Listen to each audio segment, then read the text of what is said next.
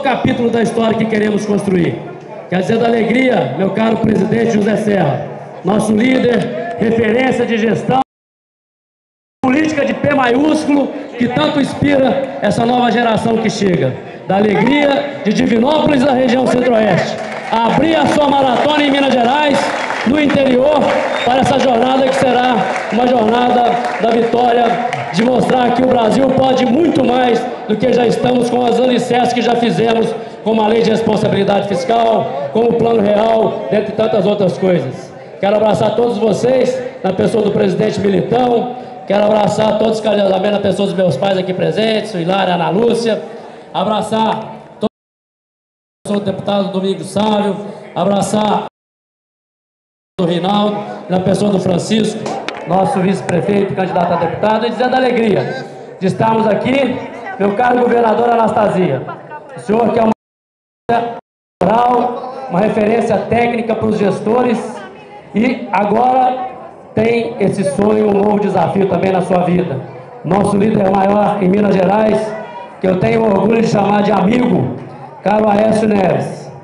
Você que agora parte para ir para o Senado da República, depois de transformar Minas Gerais para muito melhor. Como eu disse há pouco tempo, na sua última visita aqui em Divinópolis como governador, neste palco, aqui no Estrela do Oeste Clube, desde já agradecendo nosso amigo Zé Alonso, Pancho, nossos sempre anfitriões, nesse ninho tucano também aqui de Divinópolis.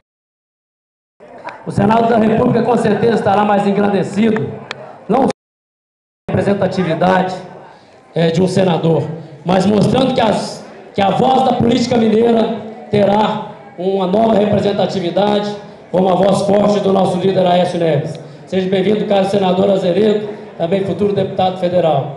Prefeitos da região, amigos, veja aqui Adalberto, Ângelo, na pessoas dele, quero abraçar todos os outros prefeitos aqui presentes, lideranças empresariais da FIENG, Afonso, CDL, Petrônio, do Sindifer, nosso querido Ronan Eustáquio, na pessoa de, vocês apresenta abraço às lideranças empresariais, Geraldo aí do Camacho, todos os amigos, quero dizer da emoção que me carrega aqui agora, não estou seguindo regra de cerimonial, mas mostra a força política que Divinópolis Centro-Oeste hoje tem, e dizer que nós precisamos avançar. Temos aí um hospital em obras, como bem já sabe o nosso presidente Serra, nosso governador e o senador Aécio também, eles que nos ajudaram a viabilizar esse sonho, e temos ainda os desafios de mantê-lo com dignidade.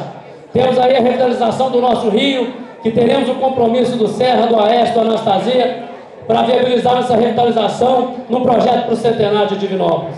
Temos os projetos estruturantes da nossa economia, da nossa cultura, que com esse trio aqui, eu assino embaixo, que com os deputados que também elegeremos, nós faremos uma vida melhor para todo mundo, que é o objetivo comum da política séria, da política das mãos limpas, que é a política que nutre o PSDB, esses ídolos que tanto nos inspiram e com certeza fará um país, um estado, uma cidade melhor para todos nós.